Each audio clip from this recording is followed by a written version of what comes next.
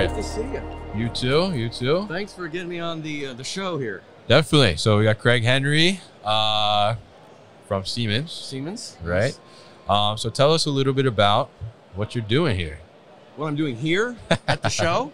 Yeah. What is Well- Siemens doing at a supply chain show? Well, see, that is a little. That's a great question. Yeah. Um, I got introduced to CSCMP about two years ago, maybe three years ago.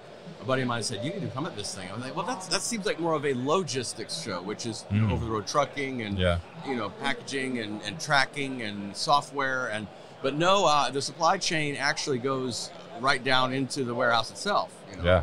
so i can ask you the same thing what are you doing here but you are part of that supply chain just like i am Yes. Absolutely. so, uh, so siemens is all about uh, the technologies behind we're a second layer to the end customer Mhm. so we're we're going to supply the the integrators and, and builders of equipment and conveyor systems and robotic uh, control cabinets, etc. We also Right. provide the tools for emulation and simulation for all that stuff. yeah. And we're we're from the shop floor all the way up into the cloud. Mhm. We are uh, we have a great offering as well in in uh, switches, managed switches, and and uh, we're moving quickly toward a a statement-based language control system Mm. um, which is classically a lot of the control systems that we work on and do are for um, a PLC, a, a kind Right. of box that has a very specific operating system, does a very specific job.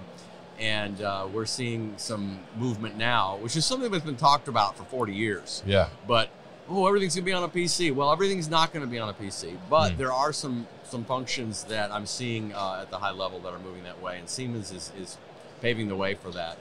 And, Yeah. and, and that's also kind of cool. So, but more to the point, this uh, the supply chain includes how you're moving product within Right. the walls of an organization, and Absolutely. that's that's really where I uh, why I'm here, and I've got uh, customers here, and Mm. you know we're we're having meetings and talking about how can we make things more not necessarily optimized, but Right.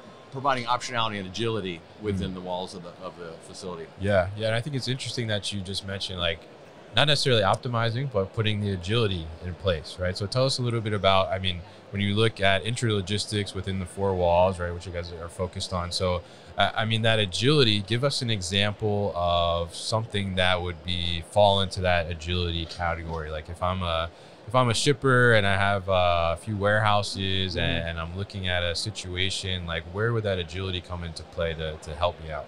Well, the, the thing is, we know that demand is is uncertain by its nature. It Right, will never be certain. You- You're not going to have a set number of orders coming in on certain days that you're going to have fulfilled. Mm. The and often we're seeing now with the churn of business is you're going to have a lot of change in the kind of material that's going to be in your warehouse. And if Yeah. you're a 3PL, that's the name of the game. It's going to be Yeah. not just the same stuff, not every day. So agility is more about how your facility is going to be able to flex and change, Mm-hmm. even though it's a fixed thing Yeah. you have to have the ability to handle a higher volume. You have to be able to hi- uh, be able to handle different size Mm. loads, unit loads, and, and tote based loads, or whatever you're doing. And so when you put into into place systems like Mm. AMRs or ASRS systems, Yeah. or you know, and, and even conveyors too. But there, there are a lot of technologies that can that can give you that. The biggest one, however, is going to be the software tools Right. because the software tools, the more you can move out of a hardware based thinking and into a software based thinking. Mm.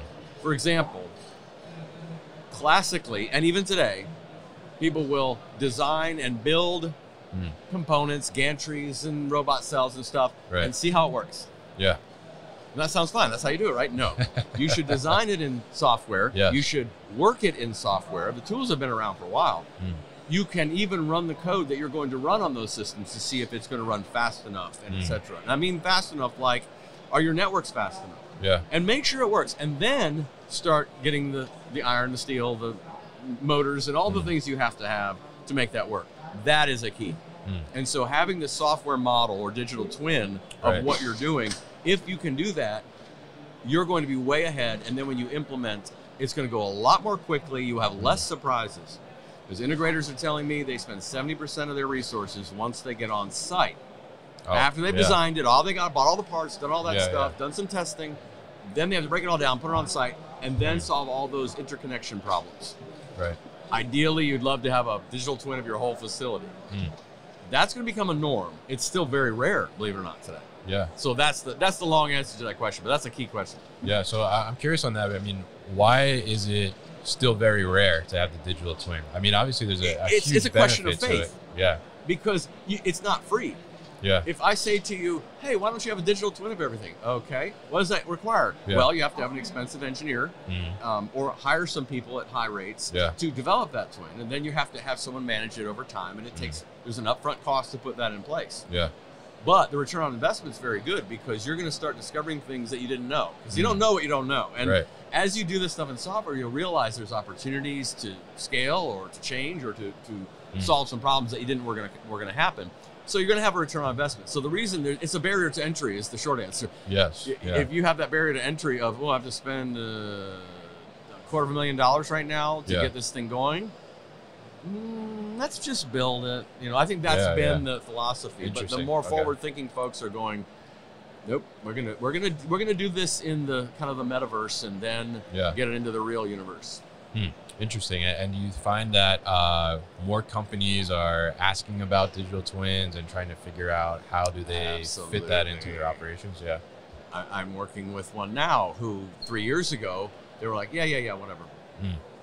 But as what was it? The Chinese proverb says, Yeah. when the student is, if pupil is ready, master appear. You know, that's how that's supposed to work. And I think now we're, Yeah. we're like, now you're ready to hear the same thing we've been telling you three years ago. Like, Yeah, yeah, yeah. yeah, yeah, yeah. Yeah. Yeah, Show me those tools because they're getting tired of implementations taking too long Mm. and things changing so quickly. Or Yeah. doing an implementation, discovering "Hmm, we could have done it differently, scrapping the project. A year has gone by. They've Yeah. missed it. They spent all this money. They could have done it a lot differently and spent that money better.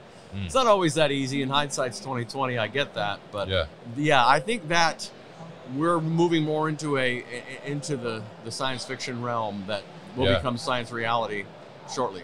Yeah, absolutely. And I think it's such an interesting thing. And, and like you said, I mean, you see the benefit from the digital twin because, you know, you're able to, to see things before you actually have to physically do it, right? And when you Mhm. physically do something, you know, like you said, you end up with a lot of waste potentially, or you end up with something that's by the time you're done, it's already needs to be upgraded, right? In some cases. So, so I mean, it's really, uh, I think, important to start to embrace this technology. I mean, Mhm. it's, you know, as you look at, especially something that's changing as often as you, you mentioned a 3PL in there, right? Your, your clients can be can be changing a lot. Their product mix can be Mhm. changing, right? As companies grow that you're working with, they have more inventory, they have more products, more Mhm. SKU assortments, more packs that they do or bundles, whatever the case is. And if you're not able to, to kind of adopt around, uh, around that or adapt around that and be able to understand that uh, without, you know, making all these physical changes and just, you know, uh, kind of like, is this going to work? Is it not going to work? Just move stuff around. I mean, you can eat a lot of cost in that, that sense, right? So the digital twin can really help you to do Yeah. that. So, I, I mean, talk to us a little bit about maybe some, uh, it's like success stories with digital twins where companies have been able to leverage the digital twin to, to make smarter decisions and, and really benefit them in the, the long run. Yeah, well, the digital twin really does pay for itself, Mhm. and I and I and I know there are some listeners and some people in this field who are Mhm. aware that we all get excited about technology. Yeah. You know, like lasers on sharks' heads. It's freaking awesome. That's yeah, not. yeah. I can't wait for I'm that to be about. widespread. Yeah. Yeah, that's. stick with me. Um, Yeah. but I think everything has to hold up. Mm. Everything has to hold up. And the thing about the digital twin is that you can put in human beings into that model. You can change the temperature in the place and see how that affects things. Yeah. Uh, you can understand your power consumption. That all can be digitally done. Mm. So you get a lot of benefits, by the way. Yeah. Success stories. Well, we're finding with with a number of customers that we've worked with, the huge return on investment is when you go to implement, you're going to implement Mm. 60% less time and money Yeah. because you've done this work ahead of time. Mm. And what's true in product development is true with any project management is if you have a fuzzy front end, you're not going to you're not really going to get what you really think you're going to get. You're going to Yeah. doing a lot of assumptions. So if you have a really clear concept of what you're going to build, you've done some analysis up front, Mm-hmm. you know what the edges are, you know what the seasonality changes and the standard deviations of demand and all that. that Mm.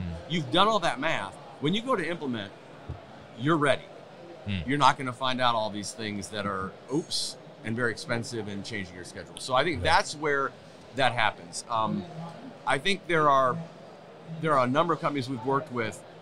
The benefit comes from the technology, but it first comes from having just doing the basics really, really well, which Yeah. is do your industrial engineering, folks. Mhm. Figure out what do you want to do, where you want to save, because the problem of, of intralogistics is is multifaceted depending on what your goal is. Is your goal to make the most profit? Is your goal to have the best customer service? Those Mm. go against each other. Yeah. Is it to have the fastest throughput? Is it to have the least number of people? Mm. All those factors, you can't have everything. So you have to decide what you want. Yeah. Uh, they do that with cars, by the way, the design of cars. Mhm. They'll design the Honda Accord or something. They'll say, of all of these different feature sets, we want a seat that is a 7 out of 10. We want Yeah. a steering wheel that's a 5 out of 10. We want a, you know, whatever. Mm. They, they put all these categories and that designs the car, Mm. just like designing a a facility. I worked with DigiKey Yeah. up in Minnesota.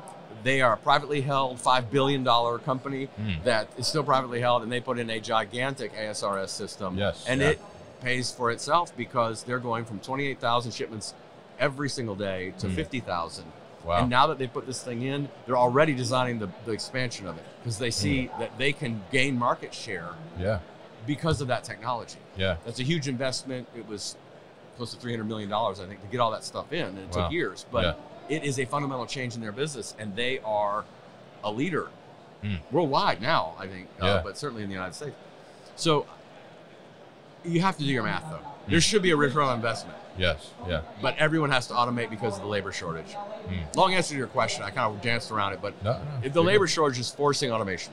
Yeah, yeah, absolutely, and I, I think it's you know it's inevitable, um, and I think it's it's at that point too. And I'm curious like what you see because I think it's at the point where we've you know the larger companies right have started automation already. They're putting robotics in place and all these different things, um, but it's at the point where that that small to medium sized shipper as well is like I need to get some automation, right? I mean, are are you seeing that? In the market, where it's basically at a point, if you're not automating, like you're not gonna survive. You know, I don't know if I can emphatically say Yeah. if you have a manual, smaller, with maybe a not a not a lot of SKUs kind of um, fulfillment center that you're doomed. I don't I don't know that that's the case, but I think that the more you can move into the digital world, Mm. the more you can flex with your growth and your changes. Yeah. And I think it's kind of a field of dreams. You can you know, build it and they will come. I think you Right. can, as a 3PL, for example, Mm. attract a lot of your market by having that automation. Mm. Like it's Yeah. it's a lot easier to scale something in software and with with these mechani- uh, these uh, automation tools than it is to say let me get Bob and Mary and Jim and now now I have seven of them now I have ten of them now I have twenty of them. Yeah, it's it's not going to go that way and and yeah the talent is a real problem. There's a talent gap here. Yeah. So I wouldn't say emphatically no everyone's doomed who's not automating. I would say smart automate. Mm. Consider where you're like I said, what are you trying to optimize? Yeah. you know, if, if you can be medium or small and be wildly profitable, Mm. do you want to grow? Maybe leave it alone. Maybe cherry pick the market you want, do just that. You know? Yeah. Or if you're trying to be the, you know, the the, the Amazon, Walmart, whatever, anything Right. goes. Yeah. Yeah. Well, that's going to be challenging, and uh, you probably will need to automate to, to keep up with that Yeah. that marketplace. Yeah. Absolutely. And I, I think it's really interesting insights there, and it's definitely great to, to understand that. And, and I think the, the digital twin aspect of that too. I mean, you know, if you're looking at and you know maybe uh, you've convinced some people here to, to invest in digital twin, right? I mean, at least look at it. you yeah, yeah. But I mean, what's like foundationally, if I were to say like, okay, I want to bring a digital twin uh, technology into to my organization, Mhm. um, I mean, what do you really have to do to to be at that that point of, of preparation and lay the foundation? Because there's a lot of a lot of data there that's that's happening. Yeah, could right? be daunting, but it's really not that tough. You can get a point cloud or a point scan of your c- current facility, Mhm. which gets it down to the centimeter, even smaller. Yeah. Within half an hour, you've got a whole Mm. lidar point cloud of your facility. You bring that into a software tool that you get for free as a free download. You can play with it for a while and bring it in, and then add functionality what's going on there, and say, well. We're going to add functionality to how the material flows like this, Mm. and let's now draw in with another tool. Let's draw in another Yeah. um, conveyor system or Mm. increase the number of robots we have, or add people in and start seeing how they function. And those software tools are available. Now they're Yeah. pretty sophisticated, Mhm. so there's costs for licensing and that kind of thing. So there's going to be a point where you're going to have to get into it. But there may be some entry level tools that I'm not aware of too that you can Yeah. do that. But the point cloud is where you start, Mm. and it is surprisingly uh, accurate. Yeah. And there are companies actually putting um, lidar sensors up like in the ceiling, Yeah. and, and every week or every so often they're doing another scan because things are changing on the floor Yeah, or whatever, and move, they, yeah. it, it becomes old. They don't want to, you know, have old information. They want to know what's really going on. Yeah. Real time. and lidar is particularly cool because it doesn't have to have light. Mm. It's going to give you everything. Could be complete darkness, and it's going to scan everything and see it. yeah.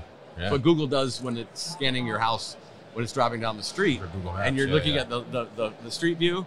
Yeah. That's all lidar. It's not. It's not. Um, you know, just video. Yeah. So yeah. that's that's where I would start. All right, cool. So very interesting stuff with you, Craig, as always, and, and always great insights. And, and I know you love the, the digital twins. You're, you're the digital twin himself, that- right, on LinkedIn. Oh, I am the digital twin. Yes, yeah, That's right. That is my handle, isn't it? Yes, yeah, yeah. My So- problem will be when the digital twin makes me obsolete. That's going to be an issue. yeah, I'll be off in the corner. I'll be like the Matrix. I'll be like in some goo. No, we, we love we love the real Craig. We love Okay, the real Craig. Yeah, we don't want the digital twin. So so always a pleasure to talk to you and, get these insights uh, from the industry from you as well. Um, so thank you for stopping by and thanks for uh, talking to us. No, thanks for letting me do Yeah, it. yeah, absolutely. Great to see you. We'll see you you too.